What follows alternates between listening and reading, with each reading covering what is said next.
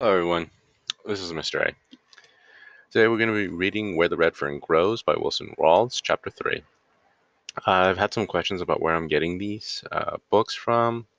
Uh, these are made available to the public through the uh, National Emergency Library.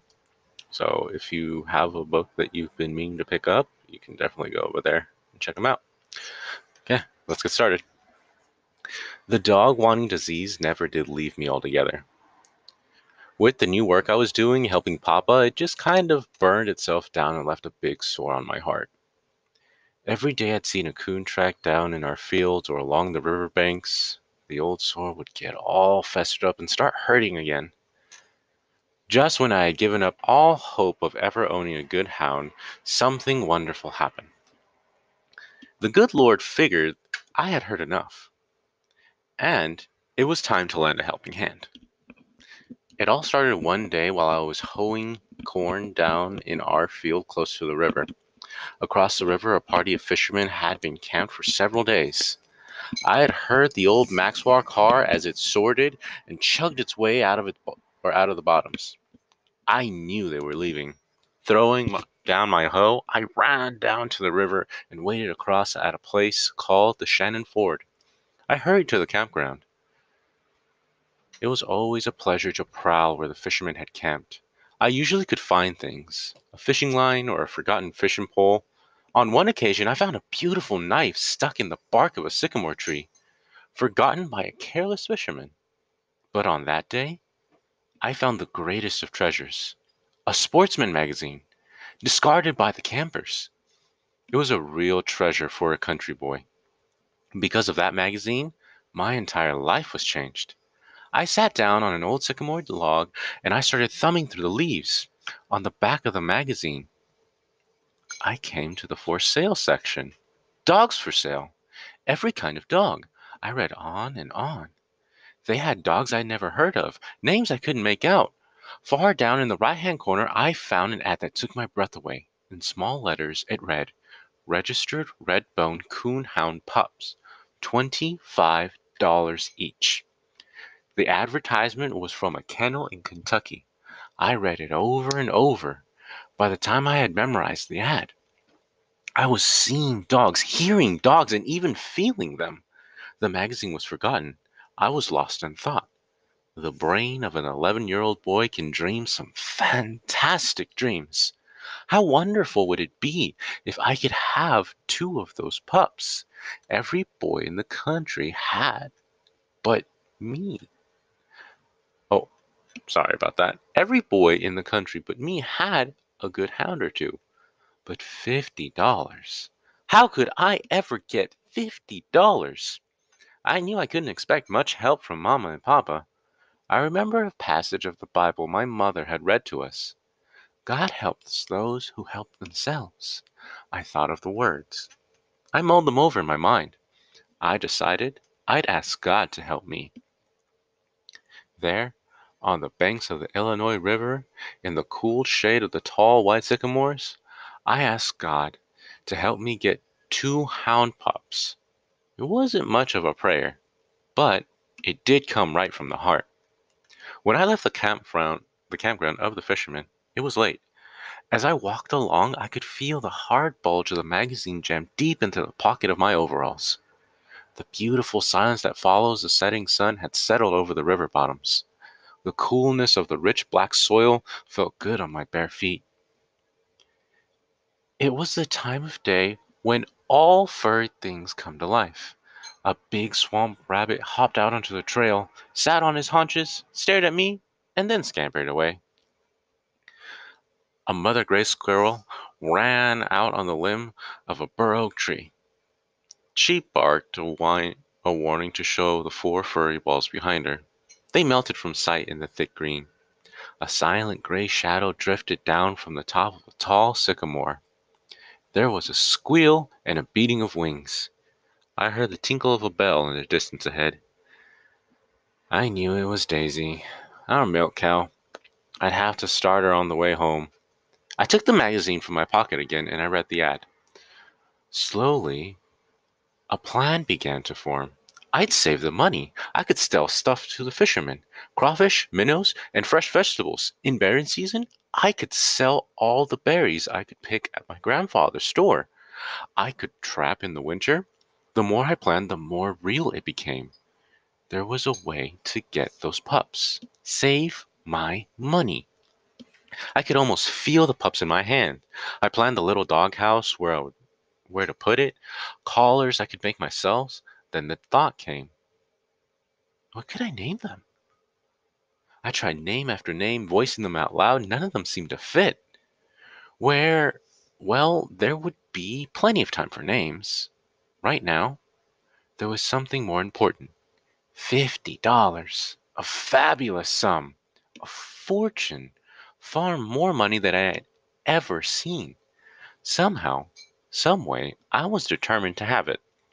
I had 23 cents, a dime I had earned running errands for my grandpa, and 13 cents a fisherman had given me for a can of worms. The next morning, I went to the trash pile behind the barn. I was looking for a can, my bank. I picked up several, but they didn't seem to be what I wanted. Then I saw it an old K.C. baking powder can.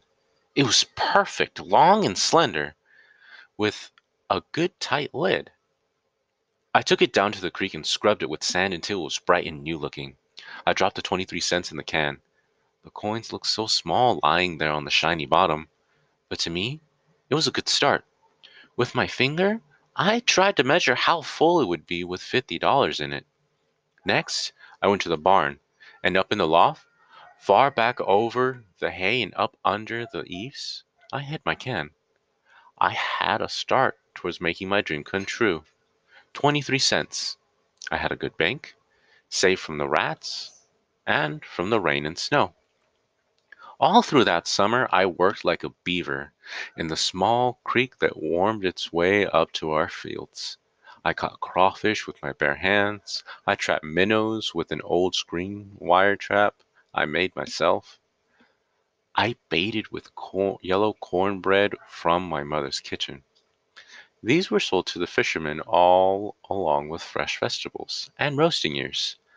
I tore my way through the blackberry patches until my hands and feet were scratched raw and red from the thorns. I tramped the hills seeking out the huckleberry bushes. My grandfather paid me ten cents a bucket for my berries.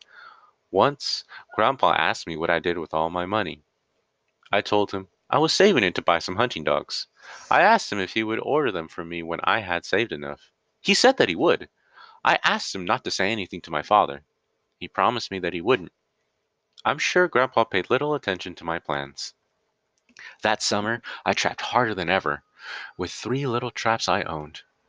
Grandpa sold my hides to the fur buyers who came to his store all through the fur season. Prices were cheap 15 cents for a large possum hide, 25 cents for a good skunk hide. Little by little, the nickels and dimes added up. The old K.C. baking powder can began or grew heavy. I would have its weight in the palm of my hand. With a straw I'd measure from the lip of the can to the money. As the months went by, the straws grew shorter and shorter. The next summer I followed the same routine. Would you like to buy some crawfish or minnows? Maybe you'd like some fresh vegetables or roasting ears. The fishermen were wonderful, as true sportsmen are. They seemed to sense the urgency in my voice, and always bought my wares. However, Many was the time when I'd find my vegetables left in the abandoned camp. There was never a set price. Anything they offered was good enough for me. A year passed. I was 12. I was over the halfway mark. I had $27.46. My spirits soared.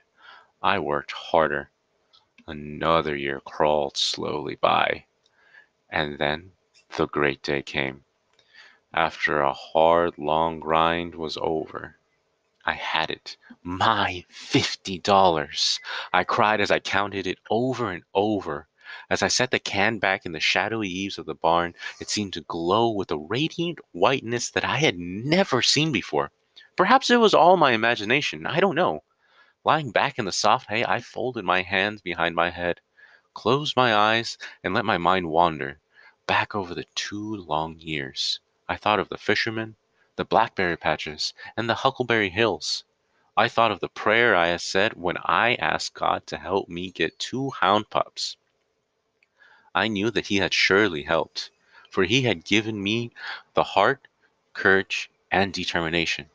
Early the next morning, with the can jammed deep in the pocket of my overalls, I flew to the store. As I trotted along, I whistled and sang. I felt as big as the tallest mountain in the Ozarks. Arriving at my destination, I saw two wagons were tied up at the hitching rack. I knew some farmers had come to the store, so I waited until they left. As I walked in, I saw my grandfather behind the counter. Tugging and pulling, I worked out the can out of my pocket and dumped it out in front of him and looked up. Grandpa was dumbfounded. He tried to say something, but it wouldn't come out. He looked at me and he looked at the pile of coins. Finally, in a voice much louder than he ordinarily used, he asked, Where did you get all this? I told you, Grandpa, I said. I was saving my money so I could buy two hound pups, and I did. You said you would order them for me. I've got the money, and now I want you to order them. Grandpa stared at me over his glasses and then back at the money. How long have you been saving this? he asked. A long time, Grandpa, I said. How, how long? he asked. I told him, Two years. His mouth flew open, and in a loud voice he said, Two years! I nodded my head. The way my grandfather stared at me made me uneasy. I was on needles and pins. Taking his eyes from me, he glanced back at the money. He saw the faded yellow piece of paper sticking out from the coins. He worked it out, asking as he did, well, What's this?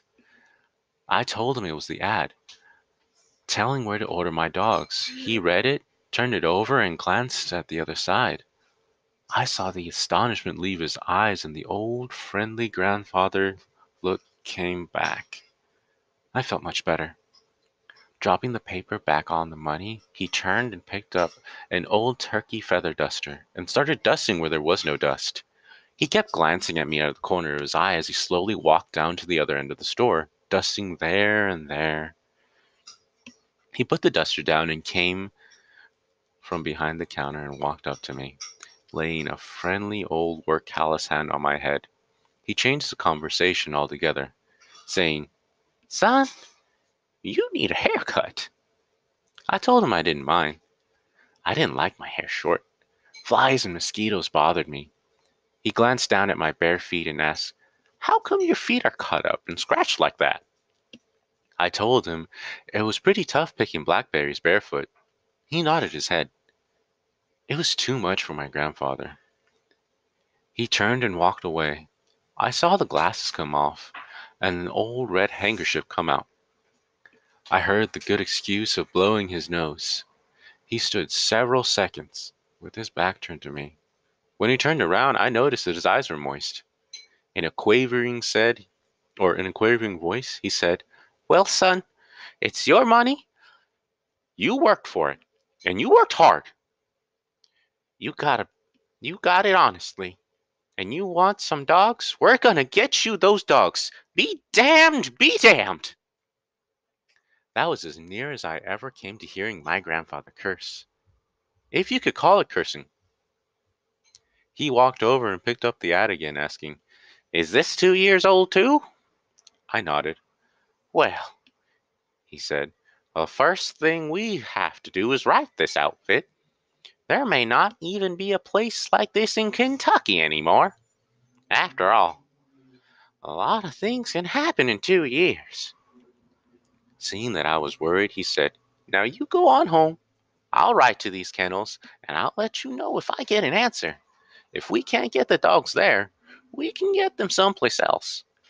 And I don't think if I were you, I'd let my pa know anything about this right now. I happen to know that he wants to buy that old red mule from old man Potter. I told him I wouldn't, and I turned to leave the store. As I reached the door, my grandfather said in a loud voice, Say, it's been a long time since you've had any candy, hasn't it? I nodded my head. He asked, How long? I told him, A long time. Well, he said, We'll have to do something about that. Walking over behind the counter, he reached out and got a sack. I noticed it wasn't one of the nickel sacks. It was one of the quarter kind. My eyes never left my grandfather's hand. Time after time, he dipped in and out of the candy counter. Peppermint sticks, jawbreakers, horehound, and gumdrops. The sack bulged, and so did my eyes. Handing the sack back to me, he said, Here, first big coon you catch with those dogs, you can pay me back. I told him I would. On my way back home with a jawbreaker in one side of my mouth and a piece of horehound in the other, I skipped and hopped, making half an effort to try to whistle and sing, and couldn't for the candy. I had the finest grandpa in the world, and I was the happiest boy in the world. I wanted to share my happiness with my sisters, but decided not to say anything about ordering the pups.